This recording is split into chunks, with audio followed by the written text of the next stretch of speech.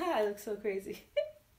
In this video, I'm going to be showing you guys how to sleep with long box braids or any length kind of braids, faux locks, twists, all that kind of stuff. If you guys want to know how to sleep with your braids too, then keep on watching. Okay, so if you came here, this might be your first time that you did box braids or the first time that you've done really long ones or you've never known how to really sleep with your braids, I'm going to show you all the different kind of ways that you guys can do that and sleep super comfortably even with your uncomfortable long hair. I'm Angelica aka Angie Bee and if you guys are new to this channel, welcome. So glad to have you here. Please consider subscribing as you're watching this video if you like any of this and would like more of this kind of content. Also hit the thumbs up button whenever you decide that you like this video because that will tell me and YouTube that you like this kind of content.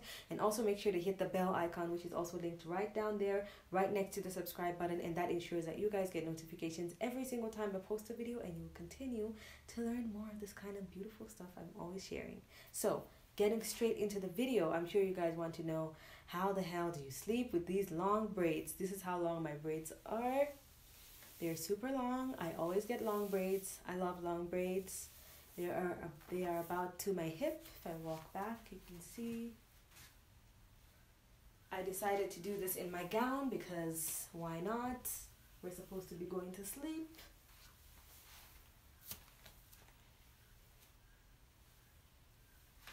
So that's how long my braids are. Okay, so this first way is for all you people who have medium length to short hair and you can't do the standard way that I usually do it. I get lots of questions even in my last video about how I sleep with braids like, oh, what if my braids are short? I can't do what you're showing me with those kind of braids. What should I do? In this video, I'm going to show you. Now, I can't do a great job of demonstrating because, of course, my braids are super long, but you're just going to have to imagine they're short. So, this is what you're going to do. You're going to get your hair sort of parted in the middle, and by the way, if you can't do this with your hair, if you just braided it, your braids are too tight because choose whatever the best direction is according to how your braids were done, and that's how you're going to wrap the hair. So if it's like a side part, that's the direction you're going to wrap your hair. If it's a middle part, that's the direction you're going to pass you're going to wrap your hair. If you can't move your hair at all, it's too tight. So watch my other video on how to loosen tight braids after this video if you want to know how to do that. So basically what you're going to do is this you're going to get your hair down whichever section it's braided in. Then you get the back and twist over like this. And now for you, if your braids are short or medium length, this might be the end of your braids. This might be like where they've reached. So you're just going to want to sort of do something like that. And then as your hair is like this, you will pick up your bonnet. This is the kind of one I use. And then you put it on from the back. This is difficult because my braids are long.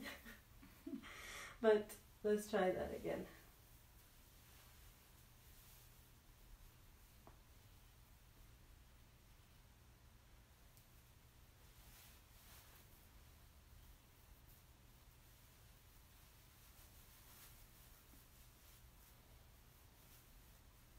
Okay, so something like this. So my braids are long, so like the long pieces are falling out. But you just get the little short parts, sort of wrap them, put them in the hat, and then you just wear it over and all your braids, I look so crazy. all your braids are going to stay in place. They won't move around and because they won't be moving while you're sleeping, you're going to feel really comfortable as you sleep because they're just all going to be in one place. Some people like to put their hair like in a top knot in a bun.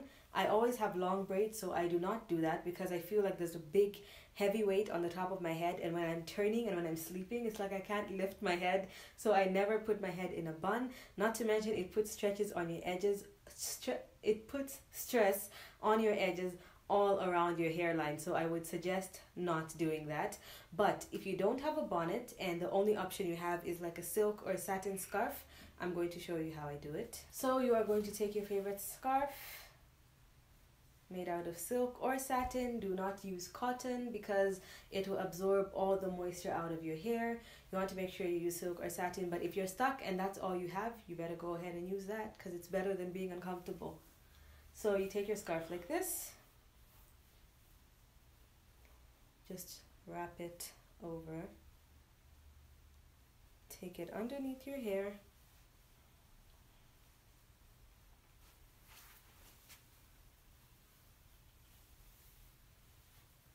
and you're going to tie it.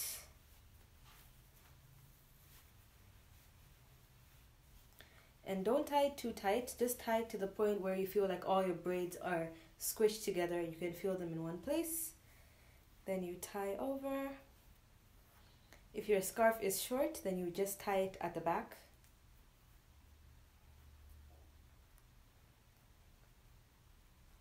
Okay so you do this and for most people this is very comfortable enough your hair is going to be like this so you're just going to lift this like this and you put it over your pillow so that the hair is not on your back. Or if you don't mind the hair being on your back, you can put it on your back. I personally find that very itchy and I don't like it. But the reason why I'm recommending it to you is because I have friends who do this method and they say it works really well. They really enjoy they don't have any problems when they're sleeping so i thought i would share that with you but for me mm-mm, this is not my way and if you know my channel then you know this is not how i sleep with my braids thumbs up if you like this video so far and let's get straight into this tip now. The best way, the best way of all of them, according to me, is this one. First of all, you're going to need a hair tie. I prefer these ones that look like a little telephone wire. And the reason is I don't have to tie my hair tight with these because of the way it's wrapped around. The hair just sort of gets caught in between once I do something like this. So I don't have to tie it tight and worry about tension. And this is what I do. I divide my hair in half like this. It's already in half. Like I said, I always braid my hair like this. I put it together, divide it in half. Then at the back, I twist over.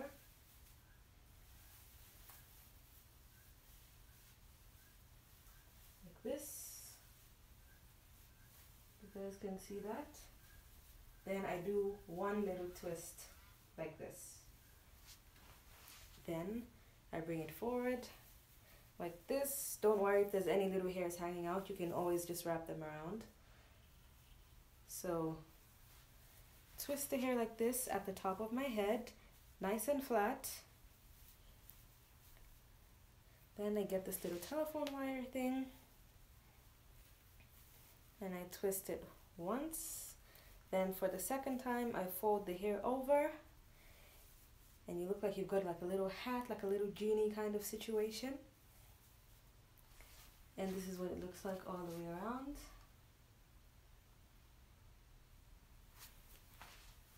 Then I go ahead and put on my bonnet on top. The reason why I like this kind of a bonnet is because this flat part helps my edges not get frizzy.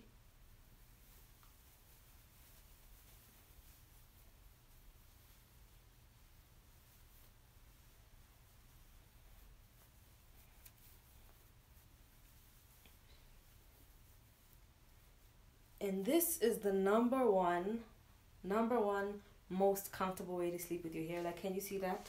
Evenness all around. Very even.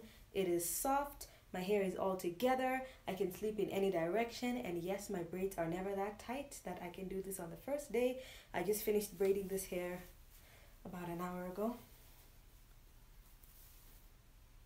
So I take it down and by, by the way, this hairstyle also prevents the least amount of frizz because your hair has barely any friction. It's not rubbing together. It's not rolling over anything. It's not rolling over anything. And now I'm going to give you guys a little bonus tip to prevent frizz and make sure that your hair is nice and comfortable when you're sleeping is sleep with a silk or satin pillowcase as well because as you turn while you're sleeping, as you're gliding along the pillow, it is going to be so much easier for you to move. You won't be like getting stuck, although that's not really always possible with like a cotton pillowcase. But I'm just saying it's so much easier and softer if you sleep on a silk and satin pillowcase. Also, sleep on a softer pillow. If you like high pillows, you can still get a high one, but that's just sort of soft so that when your hair leans against it, it's not pushing like the braids against your scalp really hard or anything and just prevent that pain. So yes, that is definitely my favorite way to sleep with box braids. If you guys would like any other videos to do with box braids or natural hair or anything of the sort, you can click on the ones on the side of the screen here, hit the subscribe button if you didn't at the beginning, hit the thumbs up, follow me on my social media and all the information you need as far as where I get everything is listed in the description box below. So please let me know and you guys please comment, is there any other way that you guys sleep with your box braids that you'd like to share with us, please comment in the comment section below. I reply to all my comments and I would love to know. Thank you so much for watching, and I'll see you guys in my next one.